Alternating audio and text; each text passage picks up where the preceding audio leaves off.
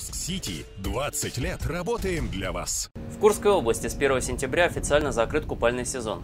Это значит, что пляжи с этого дня не функционируют, дежурство профессиональных спасателей не организовано. Тогда я протокол сейчас составлю, тогда и все. Уже были случаи, много переворачивалась лодка, понимаете? В 2022 году в области работало 50 официальных пляжей. В Курске, Курчата, Вельгове и Кастуринском районе была внедрена система видеонаблюдения. А, Всего за купальный сезон на территории Курской области утонуло 20 человек. Но это все э, лица, зарегистрированные на водных объектах. Из них э, в этот 20 человек входят те, которые э, погибли от, различных заболеваний.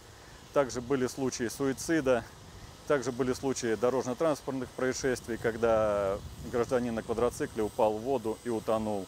Анализ происшествий показал, что все несчастные случаи произошли на так называемых диких пляжах. Взрослые в большинстве своем находились в состоянии алкогольного опьянения, несовершеннолетние отдыхали на водоемах без сопровождения взрослых и не умели плавать. Уважаемые родители, убедительная просьба, смотрите за своими детками, не оставляйте их на воде одних. За территорию буйков не заплывайте. Инспекторами центра ГИМС проведено 220 патрулирований. На собственников плавсредств, нарушающих правила, выписано 82 протокола.